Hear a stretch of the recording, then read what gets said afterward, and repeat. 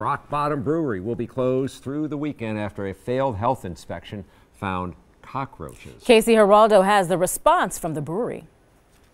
This corned beef eating contest was supposed to be sponsored by Rock Bottom. Instead, its name came off the contest as this red closed sign went up on the window. A health inspection report reveals live and dead cockroaches discovered in the kitchen and basement of the restaurant.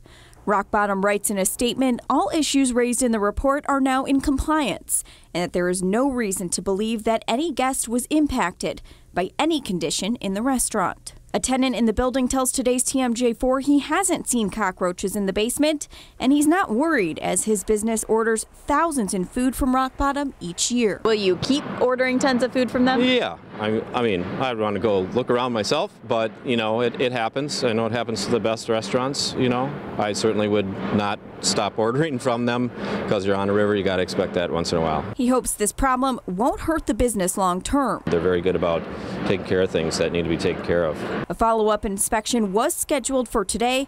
Oversight from the health department continues even after doors open. The health communications officer writes to today's TMJ4 they will be given a pending placard and follow up inspections will occur next week to ensure they have maintained compliance. Casey Geraldo, today's TMJ4.